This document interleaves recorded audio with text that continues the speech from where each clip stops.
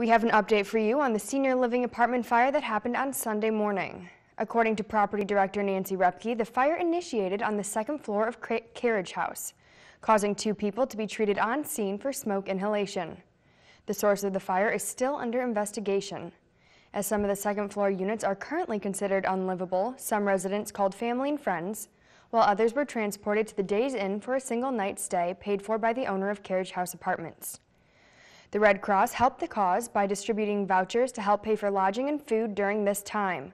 However, some displaced residents without family in the area are concerned about where they will stay if their units remain unlivable longer than the voucher can provide for. Don't tell me that you can't pay for every night that we are here at the Days Inn.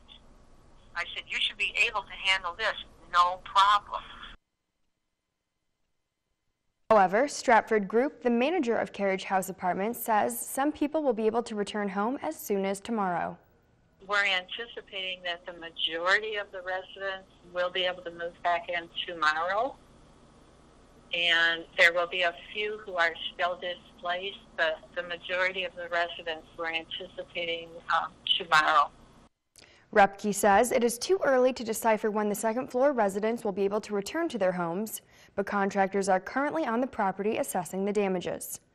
Repke adds that they have been in contact with the displaced individuals and will continue to be until the displacement is over.